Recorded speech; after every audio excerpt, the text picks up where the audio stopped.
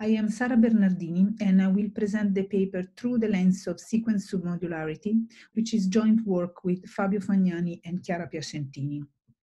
A submodular set function f has the property that the difference in the incremental value of the function that a single element sigma makes when added to the input set decreases as the size of the set increases. Submodular functions express a diminishing return property, which is common in many applications.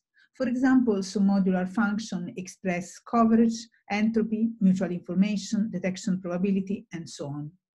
If we consider the problem of maximizing a submodular function, it is well known that the greedy algorithm produces an almost optimal solution. This result has been extended to sequence functions that are backward monotonic, uh, which means that the monotonicity refers to adding uh, an element sigma to the left-hand side of the sequence, and forward submodular, which means that the submodularity refers to attaching a new element sigma to the right-hand side of the sequence. Now, the greedy algorithm, uh, which iteratively attaches a new element sigma to the right-hand side of the sequence, produces some uh, almost optimal um, solutions. However, uh, we notice that uh, in several uh, real-world applications, these two properties don't uh, hold. In particular, we um, provide examples in the paper um, uh, about recommender systems, uh, scheduling problems, and a search and tracking application uh, that I will describe here. So we have a UAV that is tasked with uh, searching uh, for a target moving over a road network and um, that was to track uh, the target to a destination. To find the target, the UAV uh, selects a set of flight search patterns omega based on the possible paths uh, that the target might follow. And also uh, for each um, uh, pattern sigma in omega, uh, we associated to it um, timestamps that um, is a reference time of when that pattern can be executed and a detection probability, which indicates um, what is the probability of finding the target while executing um, the, uh, that uh, particular search pattern. And the problem here is to find a, a sequence of patterns that the UAV can execute and that, um, that uh, minimize uh, the average detection time. And uh, uh, this uh, minimization problem of the average detection time can be reformulated as a maximization problem uh, of a, recursive function, as you can see here at the bottom of this slide. Now, uh, many real-world applications, in fact, involve the maximization of a functional uh, FG that has a recursive uh, structure, as you can see here in the slide, where G uh, is any function from a finite set uh, omega to um, R plus, and F is a sequence function that is permutation invariant, monotonic, and submodular.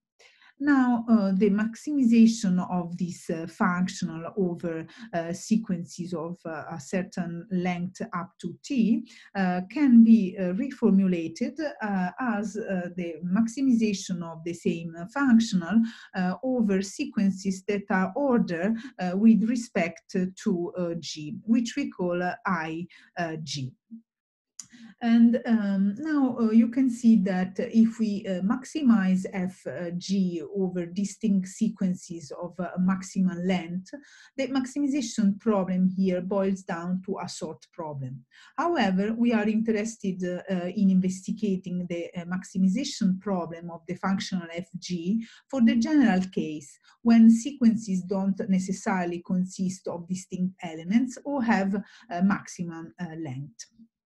And um, So uh, the problem is that uh, for uh, this um, functional FG, we have the property of forward submodularity, but FG is not backward monotonic, which means that the standard greedy approach that we have seen does not produce very good results. This is why we introduce a new uh, greedy algorithm, which we call generalized greedy algorithm.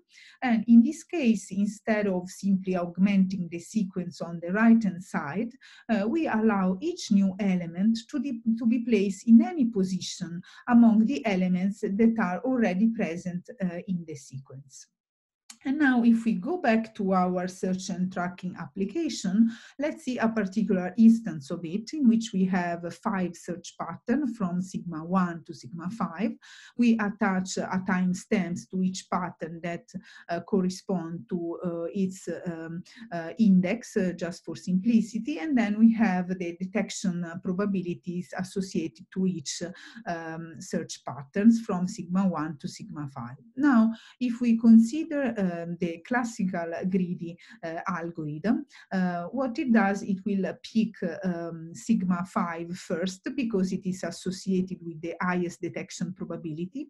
However, then uh, the algorithm won't be able to extend this sequence on the right hand side because sigma 5 has the highest index and so it will end with a sequence with just one pattern, sigma 5, and a detection time of 8 uh, dot um, 4. Now, if we consider our generalized greedy algorithm, uh, after placing um, sigma uh, 5 on the sequence as uh, the standard one, this algorithm uh, has the flexibility to add the new um, pattern in any position. And so it will pick uh, sigma 1 and it will add it uh, to the left-hand side of the sequence. So um, it will end up with a sequence of two patterns with a better detection time of 7.73.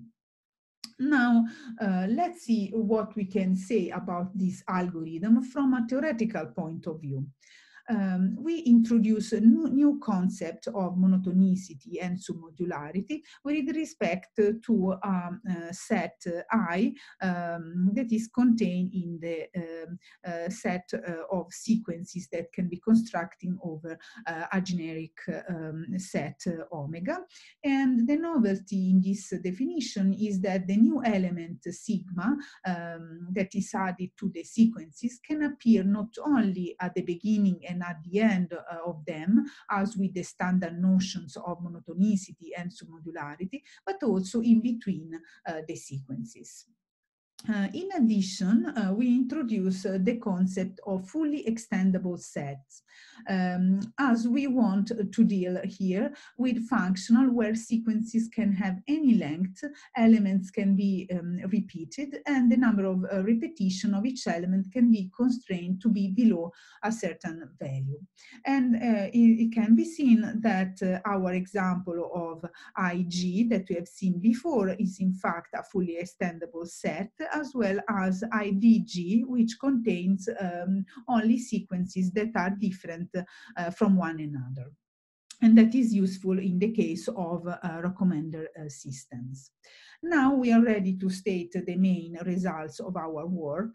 And so if we have a fully extendable set uh, I, uh, and then we consider uh, a functional J that is I monotonic and I submodular, the maximization of the functional J through our generalized greedy approach produces almost optimal solutions. And the second fundamental result is that the functional FG that we have seen emerging from um, the search and tracking applications, such uh, and also other um, applicative domains, is both uh, I monotonic and I uh, submodular. And so um, the generalized um, greedy approach uh, works very well uh, on it. And here uh, we have the experimental results for the search and tracking problem. So you can see that the generalized uh, greedy approach in orange uh, dominates in all cases the standard greedy approach. And the impact uh, is uh, higher uh, when we have the case um, of uh, patterns um, uh, that have a higher time stamps that also have a higher detection uh, probability. Uh, so uh, in conclusion, uh, we have seen that several applicative problems involve the maximization of a recursive function that has a particular structure, as you can see here, and existing greedy algorithms don't produce strong theoretical guarantees on this function, and so this is why we introduce a new efficient generalized greedy algorithm, which instead uh, produces solutions that are uh, very close to the optimal and our experiment directly show the power of the new uh, algorithm. Many thanks uh, for your attention.